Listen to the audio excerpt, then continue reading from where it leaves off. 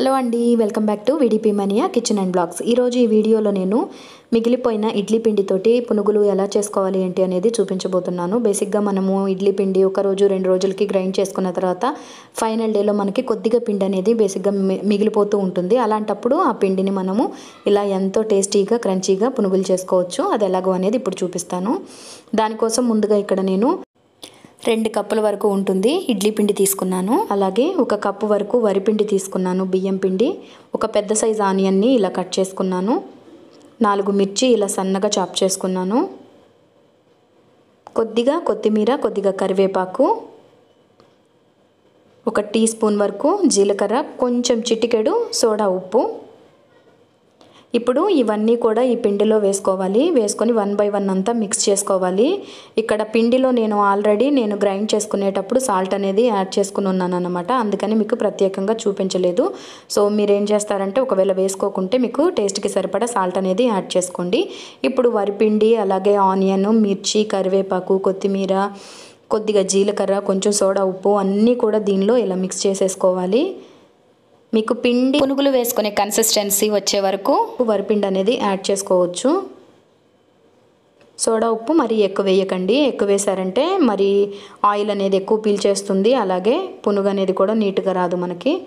ఇప్పుడు ఈ పిండి అంతా నీట్గా ఇలా మిక్స్ చేసేసుకోవాలి? మనకి పునుగులు వేసుకోవడానికి కరెక్ట్గా కన్సిస్టెన్సీ ఎలా అయితే ఉంటుందో అలా వచ్చేంత వరకు ఇప్పుడు స్టవ్ పైన ఒక ప్యాన్ పెట్టుకొని దానిలో డీప్ ఫ్రైకి సరిపడా ఆయిల్ వేసుకోవాలి. ఆయిల్ హీట్ ఎక్కిన తర్వాత ఇలా కొద్ది కొద్దిగా పిండి తీసుకుంటూ పునుగులు అనేవి వేసుకోవాలి మనము. ఆయిల్ అనేది ఓవర్ హీట్ అవ్వకూడదు మీడియం ఫ్లేమ్లోనే ఉండాలి అలాగే. ఎందుకంటే మనకి లోపల వైపు పిండి కూడా నీట్గా ఉడకాలి అని అంటే మరి హైలో పెట్టామంటే ఫ్లేమ్ అనేది మనకి పైన త్వరగా కలర్ అనేది చేంజ్ అయిపోతుంది లోపల పిండి ఉడకదు. సో అలా కాకుండా మీడియం ఫ్లేమ్లో పెట్టుకున్నాము అంటే ఈవెన్గా లోపల బయట అంతా కూడా మనకి నీట్గా కుక్ అవుతుంది. చూసారు కదా? సో ఇలా తిప్పుకుంటూ ఉండాలి. మనకి ఫైవ్ మినిట్స్కే కలర్ అనేది చేంజ్ అవుతుంది. కొంచెం కదుపుకుంటూ ఉన్నాము అంటే అన్ని వైపులో కూడా ఈవెన్గా మనకి కరెక్ట్గా కుక్ అయిపోతుంది అనమాట చూసారా? కలర్ అనేది చేంజ్ అయిపోయింది. ఎంతో టేస్టీగా క్రంచీగా కరకల్లాడుతూ ఉంటాయి. సో ఇడ్లీ పిండి మిగిలిపోయినప్పుడు మనకి అది పూర్తిగా ఇడ్లీను వేయలేము అలా అని ఆ పిండి ఇంకా వేరే ఏం చేయాలనుకున్నప్పుడు ఇలా ఈజీగా పునుగులు అనేవి రెడీ చేసేసుకోండి. చాలా టేస్టీగా ఉంటాయి. చూసారు కదా? చాలా సింపుల్గా ఇడ్లీ పిండితోటి పునుగులు అనేవి రెడీ అయిపోయినాయి మనకి. అంతే. ఇలా ఒక టిష్యూ మీదకి తీసుకున్నామంటే ఎక్స్ట్రా ఉన్న ఆయిల్ అంతా పోతుంది. చూసారుగా? సింపుల్గా మనకి ఇడ్లీ పిండితోటి పునుగులు అనేవి రెడీ అయిపోయినాయి. చాలా టేస్ట్గా ఉంటుంది. ఈవినింగ్ టైంలో స్నాక్స్కైనా బాగుంటాయి. మార్నింగ్ టైంలో టిఫిన్కైనా బాగుంటాయి.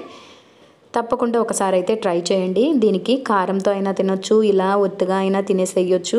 లేదంటే పునుగులకి మనము పల్లీ చట్నీ చేసుకుంటాం కదా అలా అయినా కూడా తినేసేయొచ్చు. చూసారు కదా లోపల కూడా నీట్గా కుక్ అయిపోయింది మనకి. అంతే చాలా సింపుల్గా రెడీ అయిపోయినాయి. తప్పకుండా ఒకసారి అయితే ట్రై చేయండి. వీడియో నచ్చితే like share comment and please subscribe to వీడిపి మెనియా kitchen and blogs. Subscribe చేసిన వెంటనే పక్కనే ఒక చిన్న బెల్ ఐకాన్ వస్తుంది. దాన్ని కూడా ప్రెస్ చేశారంటే నేను ఎప్పుడైతే కొత్తగా వీడియోస్ అప్లోడ్ చేస్తానో దాని నోటిఫికేషన్ వెంటనే మీ ఫోన్కి వస్తుంది. వీడియోస్ చూడటం ఈజీ అవుతుంది.